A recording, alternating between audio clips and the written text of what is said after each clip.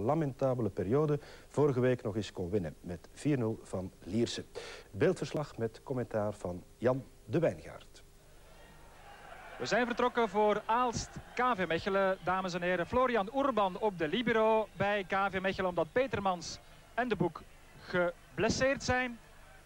Wijzigingen ook eh, bij Eendracht Aalst van Riel en Kanu komen in de ploeg omdat Okpara en Lamberg allebei geschorst zijn. De scheidsrechter vanmiddag is Gila Haaien.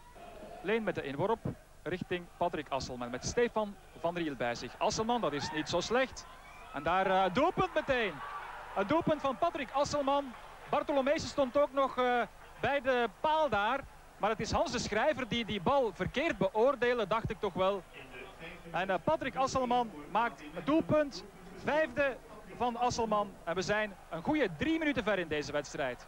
Fred van der Hoorn met een vrije trap. Zes minuten gespeeld. Daar is de vleeshouwer. Bal in het bakken van Ankeren. Trapt over. Maar net over. Bal valt op het dak van het doel. Eerste kansje voor in het begin van de wedstrijd. Zes minuten gespeeld. Opdoffer voor Aalst natuurlijk na die goal van Patrick Asselman.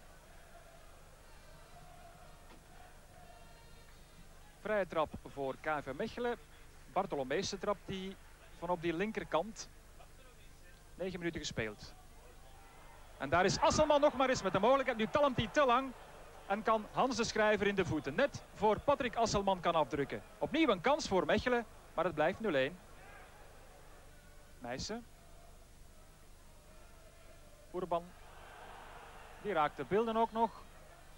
Maar Aals blijft in balbezit. Het is goed begonnen hier, maar dan is de partij wat stilgevallen. Nu is Mechelen terug daar met Koen Sanders. Iets over halverwege in de eerste helft. Sanders die legt hem klaar voor Asselman, maar daar is de schrijver. Asselman heeft al een paar kantjes in de voet gekregen, maar hij kreeg de bal niet onder controle en Hans de Schrijver kon hem oppakken.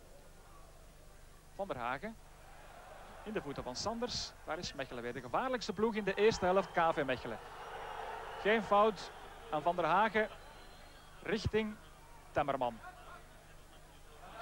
Meijsen, goede opening van Temmerman. Harold Meijsen. Krentjevic in het centrum, maar een heel slechte voorzet. Eendracht Aalst dat zijn ritme niet vindt in deze eerste helft. We zijn vijf seconden in de blessuretijd van de eerste helft. Aalst mag nog een vrije trap nemen. Van der Hoorn staat daar, Krentjevic ook. De muur van Mechelen op de juiste afstand. Wie gaat hem trappen? Fred van der Hoorn. Nee, het is Meijsen. Goed. Maar recht in de armen van Ivan de Wilde. Die die bal zag komen naar zijn hoek en pakte. En zo gaan we rusten bij een 0-1 stand. De beelden. Ja, ligt allemaal aan de staat van het veld. Bijzonder moeilijk om die bal te controleren. Van Wambeke met Bartolomeese. Peter van Wambeke. Bal is niet buiten geweest. De scheidsrechter stond er met de neus op. Meijsen. Goeie voorzet. Krentjevic niet. Maar wel Ivan de Wille die nog een tik meekreeg van Eddie Krentjevic. En de Australiër krijgt de vrije trap tegen. Als met een vrije trap. Achter de bal Harald Meijsen. Zeven minuten gespeeld in de tweede helft. De kopbal, niet zo slecht hoor. Goede kopbal van Ivan der Hagen. Maar Ivan de Wilde tikte die bal nog met één hand uit de kruising. Van der Hoorn. Elf minuten gespeeld in de tweede helft. Krentjevic van Wambeke. Die kan het proberen vandaar, maar die bal botst twee meter naast de goal van Ivan de Wilde buiten. En het blijft 0-1. Aalst dat alle moeite heeft om een opening te vinden daar in de Mechelse verdediging. Druk van Aalst, maar het levert voorlopig bijzonder weinig kansen op. Geen buitenspel en Kanu kan hem voorzetten. Daar wacht de Bilde, komt erbij met de hoofd. Temmerman krijgt hij hem binnen. De Bilde nog eens, het is nog niet gedaan. Gilles de Bilde met het schot. Temmerman dan, van de lijn gehaald door Van Britson. Heet standje voor de goal van Ivan de Wilde, maar ze krijgen hem er niet in bij Aalst. Harald Meijsen met de hoekschop. En daar is de kopbal van Van. Ja, het is binnen. De goal van Yves van der Hagen. En het is verdiend op basis van dat offensief in het begin van de tweede helft, zeg maar. Yves van der Hagen kwam ingelopen, kop naar de grond. En dan is Ivan de Wilde voor het eerst in deze wedstrijd geklopt. Het staat 1-1 na 14 minuten in de tweede helft. Ploegen in evenwicht. In de eerste helft was Mechelen de betere ploeg. Maar Aalst is knap aan die tweede helft begonnen. Van Britson. Bartolomees Waarbij Temmerman, Joël Bartolomeusen. Ook Van Riel uitgespeeld. Er komt nog een voorzet richting Czerniatinski. Maar Kanu kopt. Leen staat daar ook nog. En nu Van Britson. Die probeert het vandaar van Britson. Goed schot hoor. Centimeters naast de kruising. Hans de Schrijver keek ernaar, maar kon er niet meer bij. Czerniatinski. Segers. Van der Hagen. De vleeshouwer houdt hem binnen voor Kanu. 20 minuten nog. Kanu met de versnelling. Bartolomeusen op de hielen, maar hij is er voorbij. Kanu, en daar is de beelden met de versnelling. En wat een redding van Ivan de Wilde, die nog in de baan van die bal ging met zijn benen. En de stand gelijk houdt.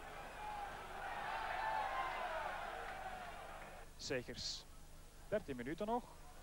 Bal afgeblokt door Temmerman. Daar is hij opnieuw. Krencevic nu. Van Wanbeken is daar. En hier Harold Meijsen. Met de kans voor Harold Meijsen. Het schot. Centimeters naast de goal van de Wilde. De beste mogelijkheid voor Harold Meijsen in die tweede helft. Als dat goed aan die tweede helft was begonnen. Het spel viel dan een beetje stil. Maar we krijgen toch spektakel in die tweede periode. Kijk nog eens naar dat schot dat net naast gaat.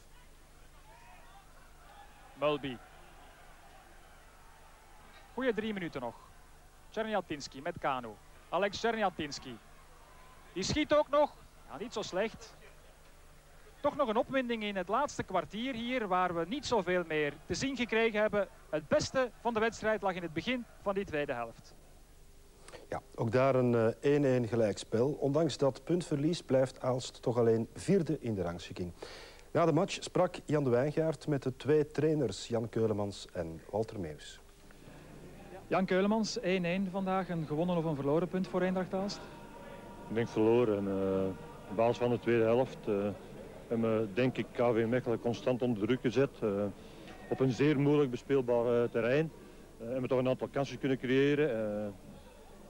ja, ik ben eigenlijk een klein tikje ontgoocheld. Langs de andere kant ben ik toch, toch tevreden met de tweede helft. Dus er was een groot verschil met de eerste was wat anders inderdaad. In de eerste helft werden jullie weggedrukt. Slecht spel vond ik eigenlijk van Aalst. Je moest langs beide kanten denken. Ik denk dat KV Mechelen is 10 minuten, dus dat doelpunt